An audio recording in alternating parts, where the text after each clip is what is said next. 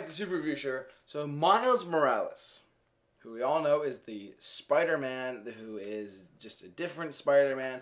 He's one of the Spider-Mans that you think they would never do.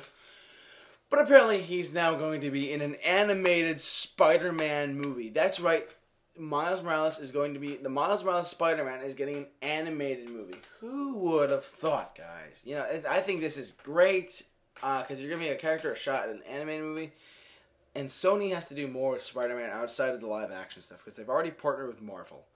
Now it's time for them to start making animated Spider-Man stuff. Maybe like a CG uh, CG animated adventure movie. You know, like, who knows? Well, I mean, that could be really cool. Like Sp- Miles Morales and Spider-Man versus the Sinister Six. Who knows?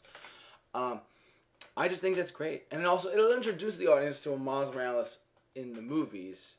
No, no, like it'll sorry, it'll it'll it'll introduce the character of Miles Morales into the general movie going public. So there's that.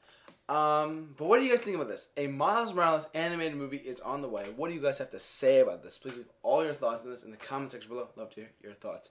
But for all of your Spider-Man animated movie updates, keep it locked. This review show. J-Man off to work. I'll see you guys later.